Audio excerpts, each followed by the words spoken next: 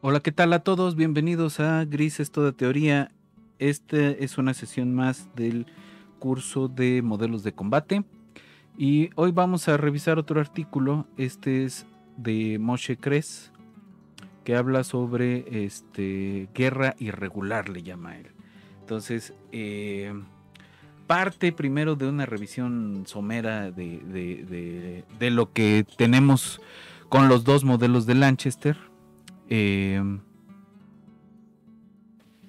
y luego eh, va a empezar a hablar sobre asimetrías posibles en el combate. Entonces, un poco lo que queremos hacer. Entonces, vámonos al pizarrón y a ver qué tanto le podemos avanzar hoy con este artículo de Moshe Cres. Ok. Entonces, eh, no, esto es eh, guerra irregular, le llama él. Seguimos hablando de guerra de guerrillas. Entonces, guerra irregular. Eh, ajá. Entonces, eh, él dice, en los modelos de Lanchester tenemos este tipo de cosas, ¿no? Este es el, el modelo... de, fuego donde puedes apuntar, ¿no? Donde ves a tu enemigo. Eh, y estos parámetros lo que representan es qué tan bueno eres para atinarle al enemigo, ¿no? Eh, una, una, efectividad de fuego. Entonces, uno no resuelve directamente esto, lo que haces es considerar esta ecuación, ¿no? que nos dice que esto es eh, beta b sobre rho r eh, y esta ecuación es separable entonces es equivalente a la ecuación este rho r de r igual a beta b de b eh, a esta ecuación integral que se resuelve fácilmente y que nos da una condición cuadrática para las este, condiciones iniciales, ¿no? O sea, lo que vamos a tener es que esto es, eh, si lo tomamos, digamos, esto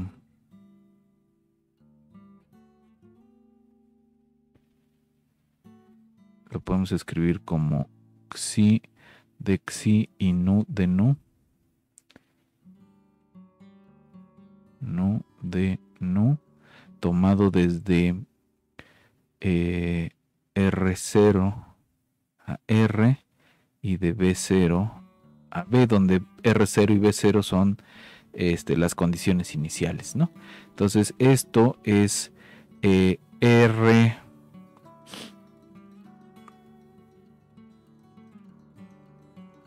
cuadrada menos R0 cuadrada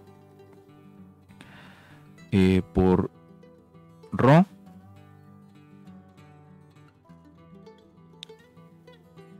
es igual a beta por B cuadrada menos B0 cuadrada. Eh, me falta por acá un 2 pero como tenemos el medio de los dos lados, lo podemos mandar a ver al mago y nos queda esta condición de estas dos, este,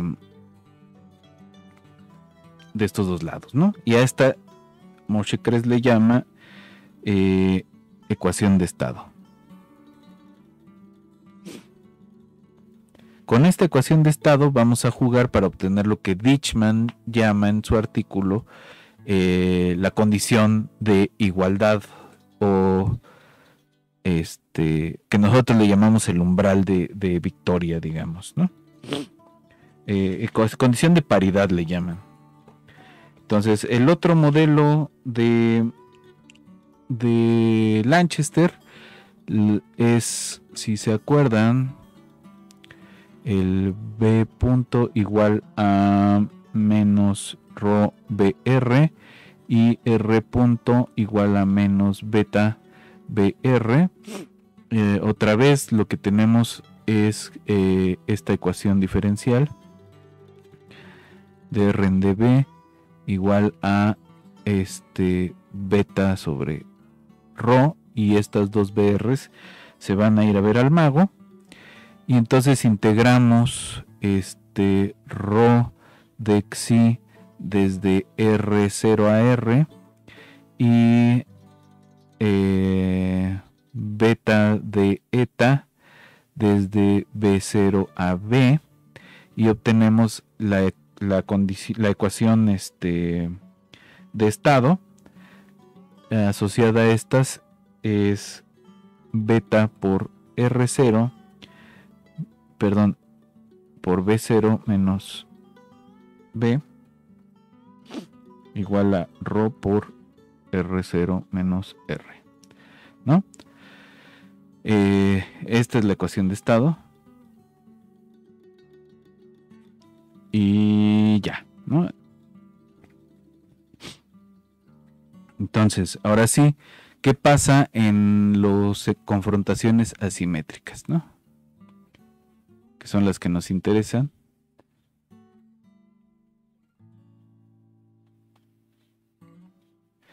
Eh, entonces vamos a tomar una primera condición de asimetría que es parecida a la de Ditchman, ¿no?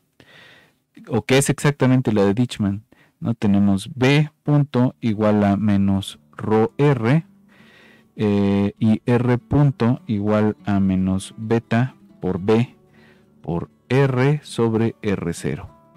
Aquí le cambia un poco, ¿no? Para, para modificar en términos nada más de los este, valores iniciales. Y entonces, ¿cómo va a ser la mm, condición este, de la, ecuación de estado en este caso? Y vamos a obtener una, una, una cosa interesante, muy lanchesteriana a este respecto. Eh, lo que vamos a tener es, eh, a ver, dr en db, en este caso va a ser beta br sobre r0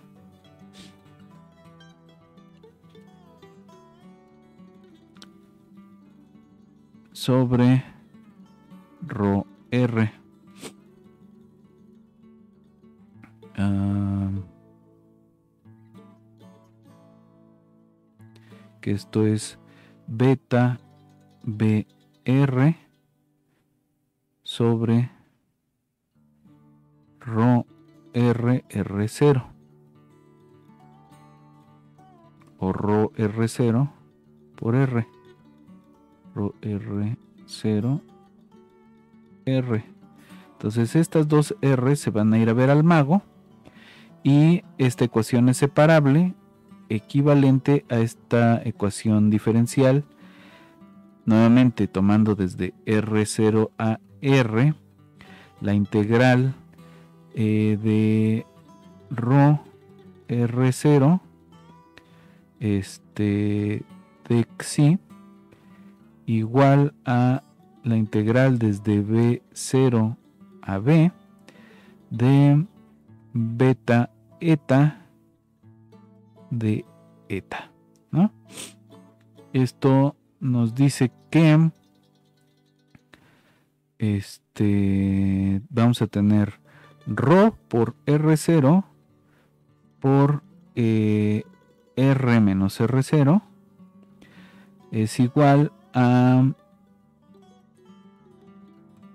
beta sobre 2 eh, por b cuadrada menos b0 cuadrada eh,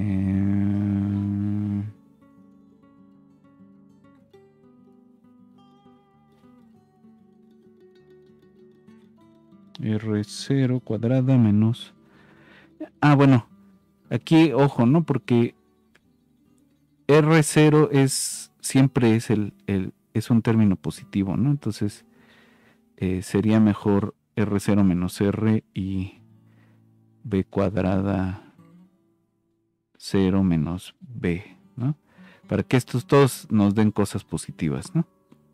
Eh, entonces aquí vamos a quedarnos con Rho R0 cuadrado menos R0R igual a beta sobre 2 por B0 cuadrado menos B cuadrado, ¿no? Eh,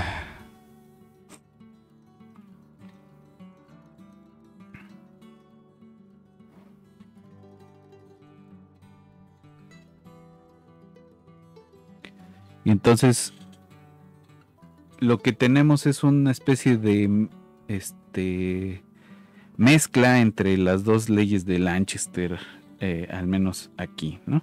Entonces, ¿cómo llevamos esto a una condición de umbral como en el caso de Ditchman? Eh, pues tendríamos que quedarnos este, con algo solo de alguno de los lados, ¿no? Eh, podemos hacer algo de este estilo. Ah, ¿Qué pasa con...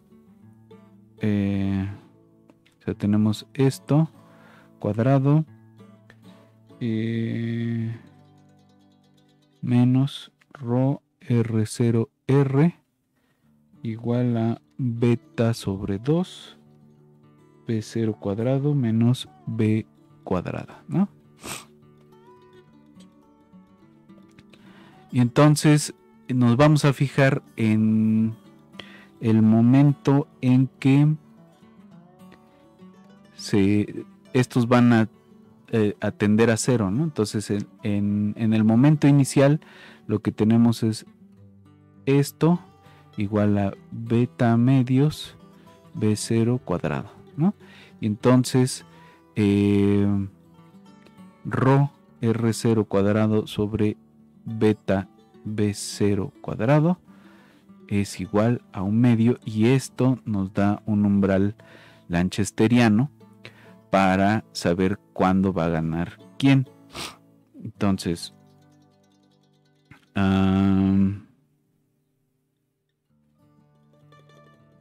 si eh, en este caso los rojos son guerrilla, son guerrillas,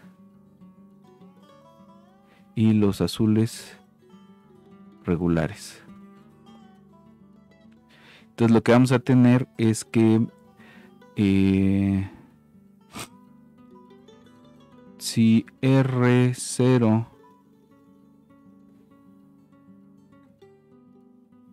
es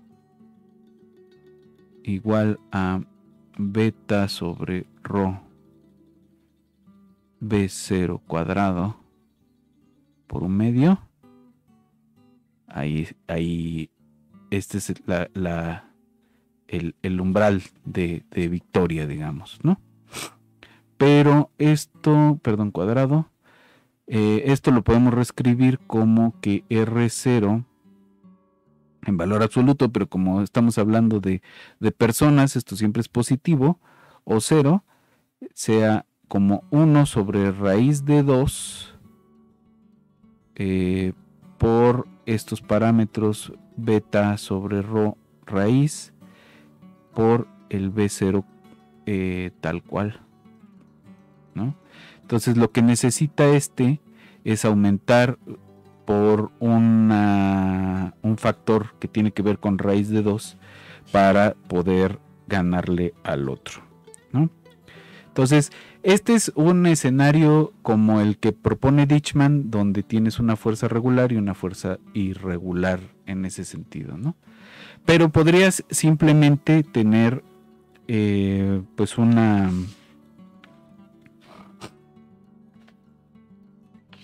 una emboscada, por ejemplo.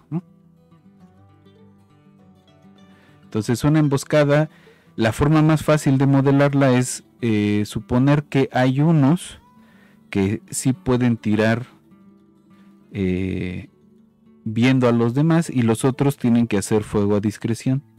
porque no ven dónde están los enemigos, ¿no? En este caso los rojos están emboscando y los azules defienden, digamos, o cayeron en emboscada.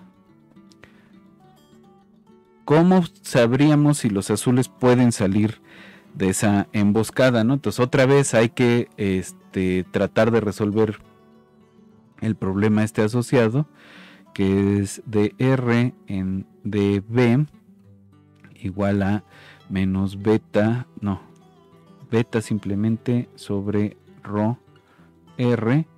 Eh, separamos y tenemos eh, R0 eh, menos R cuadrados esto sobre 2 eh, igual a eh, beta por B0 menos B, ¿no? ok.